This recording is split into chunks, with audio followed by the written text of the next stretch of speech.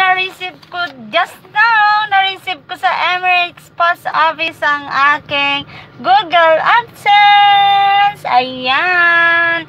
Nandito ako ngayon sa Karama Post Office. Ayan, yan. Ah, tuturo ko sa inyo ang aking yan, dyan ko na-receive yan sa post box. Yan ang post box dito sa sa Dubai. So, ayan. Yan ang post PO box namin. So, andito ako ngayon para kuhanin. Nag-check lang ako. So, ayun. Ito nga ang aking Google AdSense. Oh, ang saya-saya ko. Eh, mamaya kukunin ko, bubuksan ko mamaya. So, ayan. So, yan lang muna. Magmamaneho na ako.